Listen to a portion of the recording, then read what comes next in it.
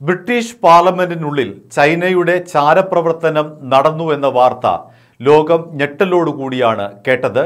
ലണ്ടനിൽ നിയമസഹായം ചെയ്യുന്ന Christine Lee എന്ന് പറയുന്ന യുവതിയാണ് പാർലമെന്റിനകത്ത് കയറി ചാരപ്രവർത്തനം നടത്തിയത് എന്നാണ് ബ്രിട്ടൻ ആരോപിക്കുന്നത്. ക്രിസ്ത്യൻ ലീയെ ബ്രിട്ടൻ വിശദമായി തന്നെ ചോദ്യം ചെയ്യുകയാണ്. ഈ ഘട്ടത്തിൽ വീണ്ടും ചൈനയുടെ ചാരസംഘടനയെക്കുറിച്ചുള്ള ചർച്ച സജീവമായിരിക്കുകയാണ്. നമുക്ക് എല്ലാവർക്കും അറിയാം ഇന്ത്യയുടെ രഹസ്യാന്വേഷണ വിഭാഗത്തിന്റെ പേര് എന്താണെന്ന്? റോ എന്നാണ് ഇന്ത്യയുടെ രഹസ്യാന്വേഷണ വിഭാഗത്തിന്റെ പേര്. അമേരിക്കയുടേത് സി ഐ എ എന്നാണെന്ന് നമുക്കറിയാം. അതേപോലെ തന്നെ ഇസ്രായേലിന്റെ ചാരസംഘടനയുടെ പേര് മൊസാദാണ് എന്ന് നമുക്കറിയാം.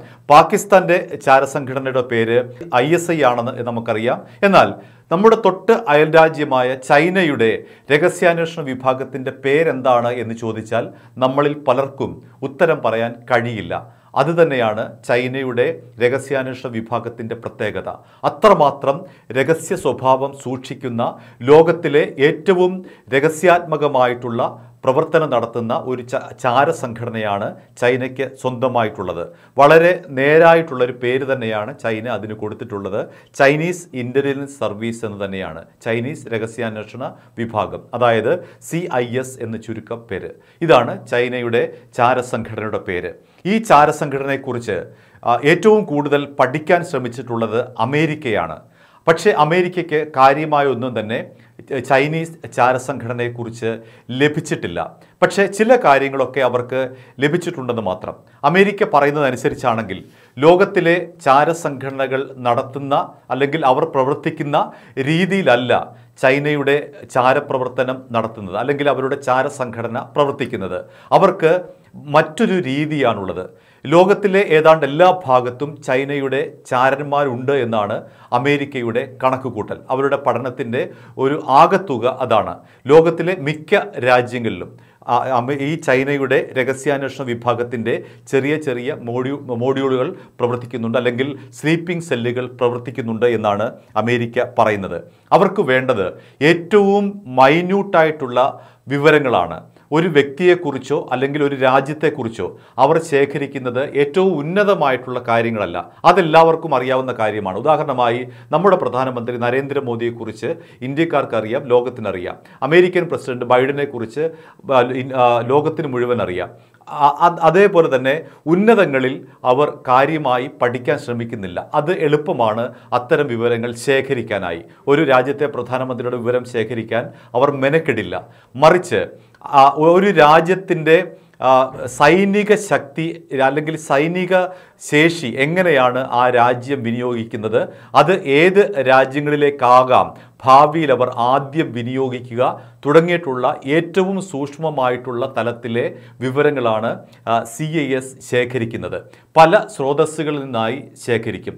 ഉദാഹരണമായി ബ്രിട്ടനെക്കുറിച്ച് അവർ പഠിക്കുന്നത് വളരെ ആധികാരികമായിട്ടായിരിക്കും. ബ്രിട്ടന്റെ വ്യോമസേനയ്ക്ക് എത്രത്തോളം കരുത്തുണ്ട് എത്രത്തോളം വ്യോമസേനകൾ അല്ലെങ്കിൽ ആഘാതം സൃഷ്ടിക്കാൻ കഴിയുന്ന വിമാനങ്ങളുണ്ട് ബ്രിട്ടന്റെ സൈനിക ശക്തി എത്രത്തോളമുണ്ട്? ബ്രിട്ടന്റെ നാവിക ശേഷി എത്രത്തോളമുണ്ട്? ആ നാവിക ശേഷിയിൽ തന്നെ ഏറ്റവും മികച്ച പ്രഹരശേഷിയുള്ള കപ്പൽ ഏതാണ്? തുടങ്ങിയിട്ടുള്ള മൈന്യൂട്ടായിട്ടുള്ള കാര്യങ്ങൾ ഇവർ പല സോഴ്സുകളിൽ നിന്നും ബ്രിട്ടനിൽ നിന്നുള്ള പല സോഴ്സുകളിൽ നിന്നും ഇവർ ശേഖരിക്കുന്നു. ശേഖരിച്ച ശേഷം ബെയ്ജിങ്ങിലുള്ള ചൈനയുടെ ചൈനീസ് ഇന്റലിജൻസ് സർവീസ് എന്ന് പറയുന്ന അവരുടെ രഹസ്യാന്വേഷണ വിഭാഗത്തിലേക്ക് ഈ ചെറിയ ചെറിയ വിവരങ്ങൾ എത്തിച്ച ശേഷം അവർ അതിനെ ക്രോഡീകരിച്ച് വിപുലീകരിച്ച് ഒരു റിപ്പോർട്ട് തയ്യാറാക്കുന്നു. ആ റിപ്പോർട്ടിന്റെ അടിസ്ഥാനത്തിലായിരിക്കും അവർ ആ രാജ്യത്തെ കാണുക. പിന്നീട് നമുക്ക് ഈ ചൈനയുടെ രഹസ്യാന്വേഷണ ഏജൻസിയെക്കുറിച്ച് വിവരം ലഭിക്കുന്നത് രണ്ടായിരത്തി ഒൻപതിൽ ചൈനയുടെ ചാരപ്രവർത്തനത്തിൽ പങ്കാളിയായിരുന്ന അതിലെ ഒരു ഏജന്റായിരുന്ന ലീ ഫെങ്സി എന്ന് പറയുന്ന ഒരാളുടെ വെളിപ്പെടുത്തലാണ്. അദ്ദേഹം ചൈന വിട്ടുപോയതിനു ശേഷമാണ് ഈ വെളിപ്പെടുത്തൽ നടത്തിയത്. എങ്ങനെയാണ് അതിന്റെ പ്രവർത്തനം എന്നതിനെ സംബന്ധിച്ച് അദ്ദേഹം ചെറുതായി പറയുന്നു. അദ്ദേഹത്തിനും അത് വിവരമില്ല. ഒരു ഏജന്റിനെ സംബന്ധിച്ച് അയാളുടെ മേലൊരു ചുമതല ഏൽപ്പിക്കും. അത് മാത്രമേ അറിയുകയുള്ളൂ അയാൾക്ക്.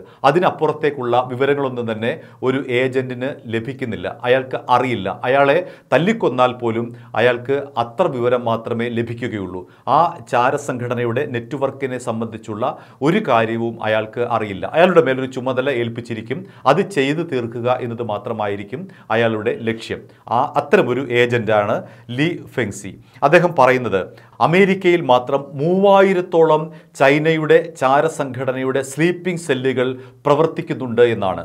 ഒന്ന് ആലോ ആലോചിച്ച് നോക്കുക. മൂവായിരത്തോളം സ്ലീപ്പിംഗ് സെല്ലുകൾ ചാരസംഘടന അമേ ചൈനയുടെ ചാരസംഘടനകൾ അമേരിക്കയിലുണ്ട് അത് ഏത് സമയത്ത് വേണമെങ്കിലും ആക്റ്റീവ് ആകും അമേരിക്കയുടെ ഓരോ നീക്കവും അപ്പപ്പോൾ തന്നെ ബീജിങ്ങിലേക്ക് എത്തിക്കാൻ ഇവർക്ക് ശേഷിയുണ്ട് എന്നാണ്. പിന്നീട് മറ്റൊരു പ്രധാനപ്പെട്ട കാര്യം ലീ ഫെങ്സി പറഞ്ഞിട്ടുള്ളത്. യൂറോപ്യൻ യൂണിയന്റെ തലസ്ഥാനമായ ബ്രസൽസിൽ തന്നെ ഇരുന്നൂറ്റി അൻപത് പേരടങ്ങുന്ന സംഘമാണ് ചാരപ്രവർത്തനം ചൈനയ്ക്ക് വേണ്ടി നടത്തുന്നത്. ചൈന ചൈനയുടെ ഈ ചാരസംഘടന ചൈനീസ് ഇന്റലിജൻസ് സർവീസ് എന്ന് പറയുന്നത് മറ്റൊരു കാര്യത്തിന് കൂടി ചൈന വിനിയോഗിക്കുന്നുണ്ട്. അതായത് ചൈനയുടെ ജനസംഖ്യ ജനങ്ങളെ നിയന്ത്രിക്കാൻ വേണ്ടി ഈ ചാരസംഘടനയെ ഉപയോഗിക്കുന്നുണ്ട്. അതായത് ചൈനീസ് കമ്മ്യൂണിസ്റ്റ് പാർട്ടി ജനങ്ങളെ നിയന്ത്രിക്കാൻ ഈ ചാരസംഘടനയെ ഉപയോഗിക്കുന്നു. ഏതെങ്കിലും തരത്തിലുള്ള പ്രതിവിപ്ലവം നടക്കുന്നുണ്ടോ? ഏതെങ്കിലും തരത്തിലുള്ള സർക്കാരിനെതിരായിട്ടുള്ള അട്ടിമറി നടക്കുന്നുണ്ടോ? തുടങ്ങി പൗരന്മാരെ നിരീക്ഷിക്കാൻ വേണ്ടി ചൈനീസ് ഭരണകൂടം സി ഐ എസിനെ വളരെ സമർത്ഥമായി വിനിയോഗിക്കുന്നുണ്ട്. അത്തരത്തിൽ നിരവധി പൗരന്മാർ അറസ്റ്റിലായിട്ടുണ്ട്.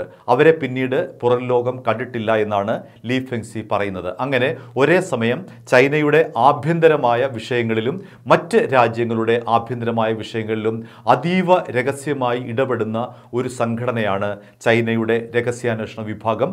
അതിന്റെ ഒരു ചെറിയ തുമ്പ് മാത്രമേ ലോകത്തിന് ലഭിച്ചിട്ടുള്ളൂ. ബാക്കി എന്താണ് എന്നതിനെ സംബന്ധിച്ച് ലോകത്തിന് യാതൊരു വിവരവുമില്ല. പ്രത്യേകിച്ചും അമേരിക്ക പോലുള്ള ഒരു രാജ്യത്തിന് ചൈനയുടെ രഹസ്യാന്വേഷണ വിഭാഗത്തിന്റെ പ്രവർത്തനം എങ്ങനെയാണെന്ന് പോലും ഇപ്പോഴും അറിയില്ല എന്നുള്ളതാണ് യാഥാർത്ഥ്യം. ഒന്ന് ആലോചിച്ച് നോക്കുക. ബ്രിട്ടീഷ് പാർലമെന്റിൽ നിന്നും രഹസ്യം ചോർത്തുക എന്ന് പറയുന്നത് നിസ്സാര കാര്യമല്ല.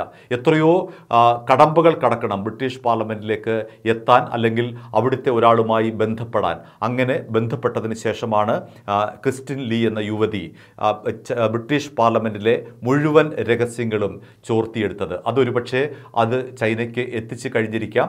ക്രിസ്റ്റീൻ ലീയെ ഇനി എത്ര ഭേദ്യം ചെയ്താലും വളരെ കുറച്ച് വിവരങ്ങൾ മാത്രമേ ലഭിക്കുകയുള്ളൂ.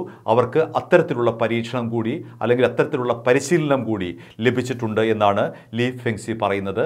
എത്ര മാരകമായ മർദ്ദനമേറ്റാലും രഹസ്യങ്ങൾ പുറത്തുവിടില്ല. അവരെ ഏൽപ്പിച്ച ചുമതല എന്താണോ അതുപോലും ഒരു ചാരൻ പിടിയിലായാൽ അയാൾ പറയില്ല എന്നാണ് ലീ ഫെങ്സി പറയുന്നത്. ചുരുക്കത്തിൽ ലോകമാകെ പടർന്നു പന്തലിച്ചു കിടക്കുന്ന ഏറ്റവും വലിയ ചാര ശൃംഖലയാണ് ചൈനയുടെ രഹസ്യാന്വേഷണ വിഭാഗമെന്ന് ലീ ഫെങ്സി ചുരുക്കുന്നു. അതേപോലെ തന്നെ അമേരിക്കയും അത്തരത്തിലുള്ള നിഗമനത്തിലേക്കാണ് എത്തിച്ചേരുന്നത്. ലോകത്തിലെ ഏറ്റവും നിഗൂഢവും ഏറ്റവും വ്യാപകവുമായിട്ടുള്ള ചാരസംഘടനയാണ് C I C I S എന്ന് പറയുന്ന ചൈനയുടെ ചാരസംഘടന